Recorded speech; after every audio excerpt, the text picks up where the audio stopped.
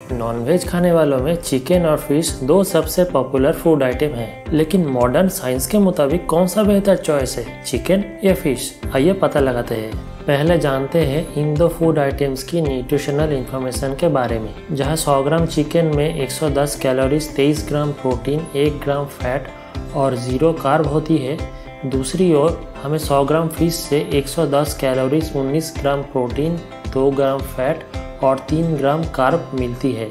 तो चिकन में प्रोटीन की मात्रा फ़िश की तुलना में थोड़ी अधिक है। तो क्या चिकन हमारे लिए बेहतर ऑप्शन है? शायद नहीं।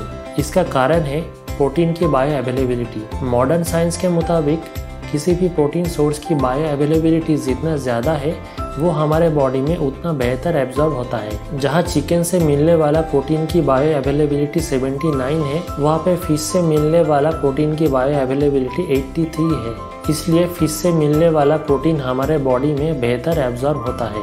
अब जानते हैं इन दो फ़ूड आइटम्स की माइक्रो न्यूट्रिएंट्स के बारे में।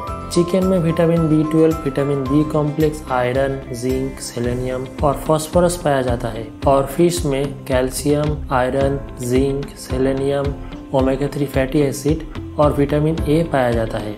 मॉडर्न साइंस के मुताबिक फ़िश से मिलने वाला ओमेगा थ्री फैटी एसिड हमारे बॉडी के लिए बहुत ज़रूरी है। ये आपके हार्ट डिज़ीज़ को रोकता है, ब्रेन फ़ंक्शन को बेहतर बनाता है और स्किन एजिंग को भी स्लो करता है। इससे आप लंबे समय तक यंग दिखते हो।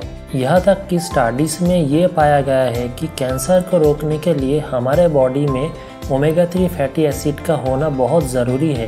तो प्रोटीन सोर्स के रूप में चिकन और फ़िश दोनों ही आपके लिए हेल्दी फ़ूड आइटम्स है। लेकिन अगर ओवरऑल हेल्थ बेनिफिट्स की बात किया जाए तो फ़िश आपके लिए एक बेहतर चॉइस है।